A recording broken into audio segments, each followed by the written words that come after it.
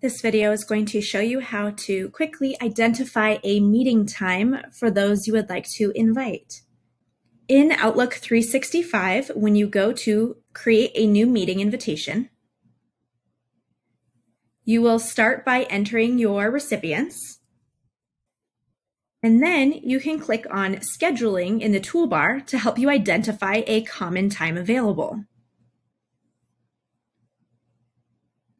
Here we can see that the blue bar indicates the recipient is busy, whereas the white space indicates free time. Go ahead and click in a spot where everyone is available. That date and time will auto-populate. You can adjust the end time or duration as needed, and you can send. Notice that for one recipient, we can see exactly what that person is doing during a busy time. Whereas for another recipient, we can't. We can only see that they're busy, but not with what. This is a permissions setting, and you can change your own as desired. To do this, return to your calendar main screen and right click on your main work calendar.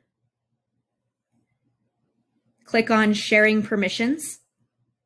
In here, you'll want to check and see what the default role is.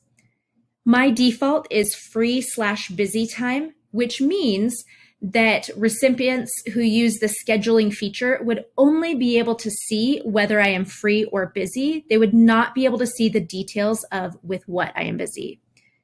You can change this down here so that people can see full details or just see free slash busy time.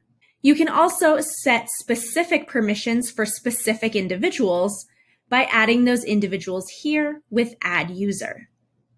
Another way to keep some events more private than others is either when creating the event or once you have selected the event in your calendar, you can go ahead and click on private.